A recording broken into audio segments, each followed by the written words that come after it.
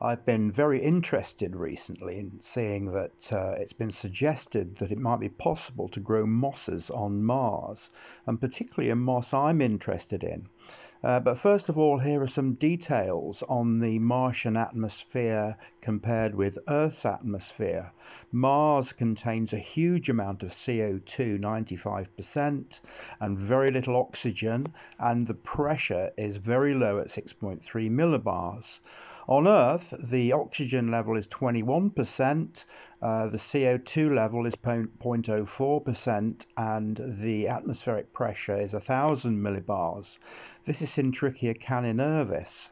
And though Syntrichia is very tolerant of extreme conditions, it is unlikely to be able to, to survive the high levels of CO2 uh, on Mars.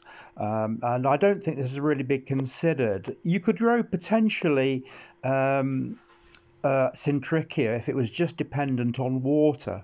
This moss can tolerate low levels of water, but even on Earth, you regularly have the humidity at 40%, even if the plant isn't hydrated.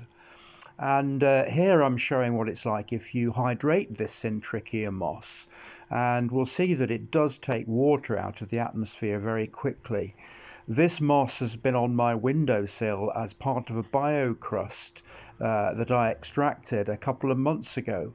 And I'll just let it dry, and certainly it will tolerate extremely dry conditions for a very long. But as I say, the atmosphere does re remain humid and you can rapidly hydrate this moss by spraying it. And as we uh, look at it we'll just see how uh, the moss does spring back to life in the little rosette star shaped rosettes that uh, start appearing. And the green color appears again quite quickly so it's always interesting to see how the moss does survive for so long, many years without water, and then it can take water out of uh, the atmosphere quite quickly with the awns that are on the ends of the leaves.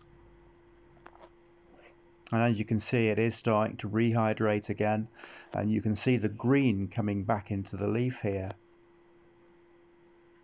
And um, the little rosettes are forming.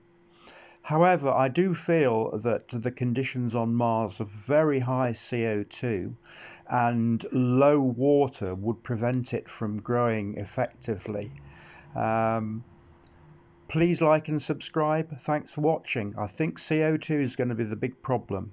CO2 toxicity towards Syntrichia. Thanks for watching.